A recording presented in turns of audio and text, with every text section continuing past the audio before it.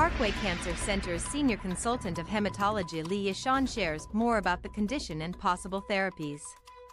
Originating in the body's lymphatic system, lymphoma is a blood cancer that causes an enlargement of the lymph nodes. Liver and spleen.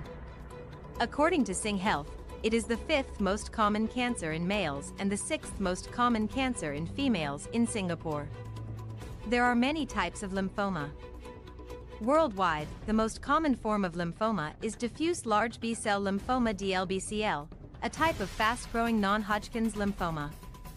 Senior consultant of hematology at Parkway Cancer Center Lee Yuh Shan discusses the symptoms, treatments and prognosis for this disease. Q. Who is more likely to get DLBCL and how is it diagnosed? In general, lymphoma can affect anyone. However, certain groups of people are more prone to developing the disease. These include people between 60 to 65 years old, those with low immunity, HIV patients, those who have been infected by the Helicobacter pylori bacteria, a common cause of stomach ulcers, or the Epstein-Barr virus, a member of the herpes virus family, as well as those exposed to high levels of radiation and certain chemicals. Although there is some loose family association, lymphoma is generally not hereditary.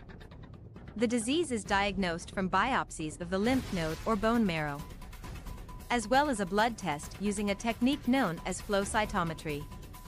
Question What are some symptoms of DLBCL to take note of?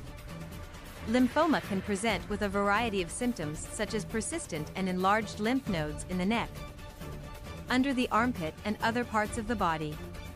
Other symptoms include prolonged fever, lethargy, night sweats, weight loss, skin rash, difficulty in breathing due to a tumor in the chest and raised levels of lymphocytic white cells.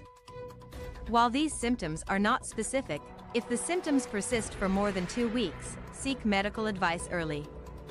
Question What is the outlook for DLBCL and is it potentially curable?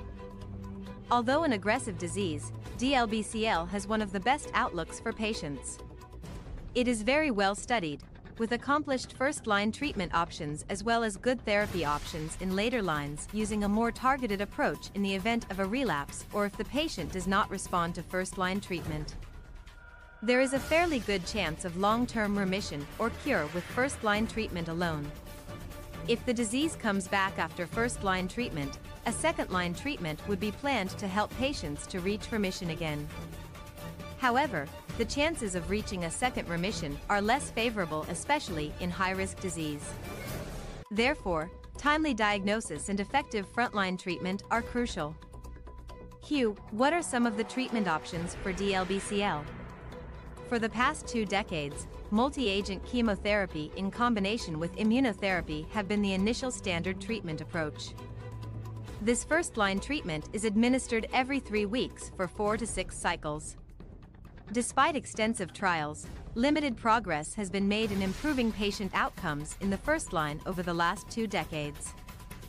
Recently, a new approach with additional immunotherapy showed an improvement in response and better disease control as compared to the conventional approach, and longer follow-up is underway to assess survival benefits.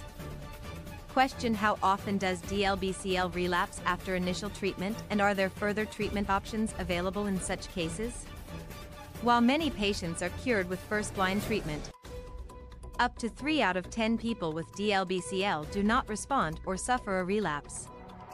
Conventional second-line treatment includes chemotherapy and high-dose chemotherapy with autologous stem cell transplant, where the patient's healthy blood stem cells are used to expedite recovery of bone marrow from high-dose chemotherapy.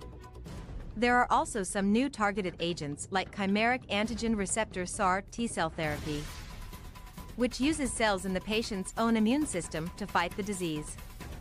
While these later line therapies help to improve outcomes, the burden of relapse is still high.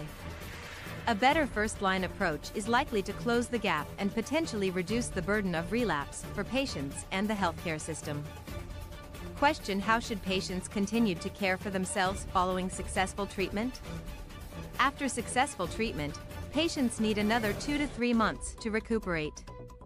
This is the best time for them to slowly regain their fitness with gently escalating exercise before returning to their work and social lives. They should also eat well, incorporating a balanced diet with more protein to help increase their strength. To reduce the risk of a relapse, patients should continue to keep their regular physician's appointments to monitor their health.